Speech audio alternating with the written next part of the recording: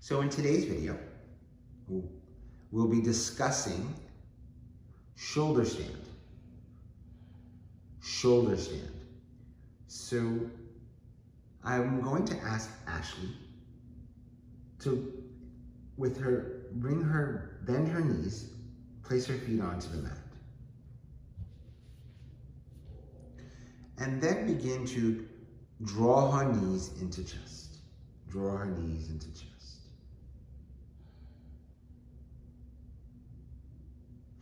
And then from here, begin to lift her hips to draw her knees a little closer towards her chest as she lifts her hips, and then begin to slide her hands beneath her lower back. Good, so this is how I start.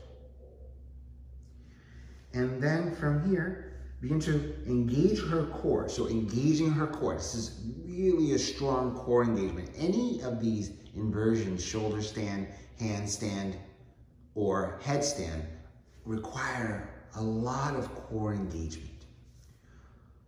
And then from here, I'm going to ask Ashley to begin to lift her lower body, her legs, all the way up toward the sky. Press into her hands, lift up toward the sky, Oops, and then take her hands and place them on her lower back and draw her elbows closer in toward the midline.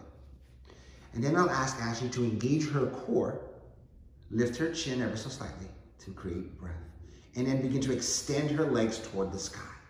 Shoulder stand, a very calming pose. Great inversion.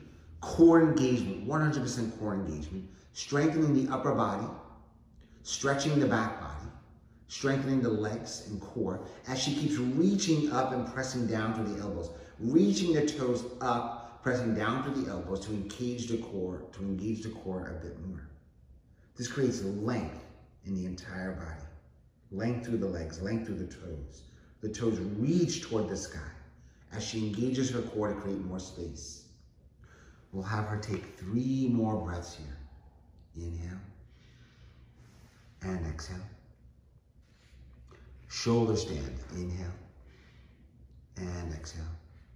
And then I'll ask Ashley to slowly bend her knees into her chest and then begin to plant her feet onto the earth they, to keep her hands right where they were.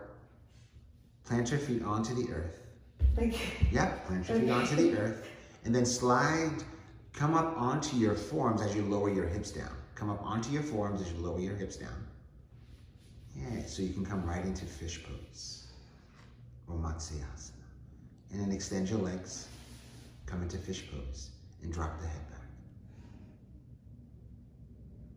Shoulders stand, the counter for shoulder stand is always fish pose. Inhale and exhale.